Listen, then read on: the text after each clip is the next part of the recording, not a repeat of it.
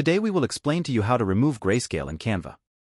Suppose I want to remove the colors in these images. All you have to do is select the image with the mouse and then click on the Edit Image option at the top. We need to go back to the old Canva Studio. Just choose any effect from here. I will choose Duotone then choose Classic. Now click Apply. As you can see, we are back in the old studio. Now look for the photogenic option, then from the mono section choose Classic.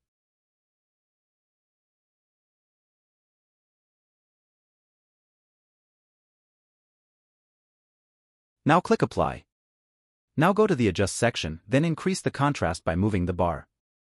Now, as you can see, the gray color has been removed. In this way, you can also remove any color from the images and make them black and white only. Now I will quickly finish editing the rest of the photos.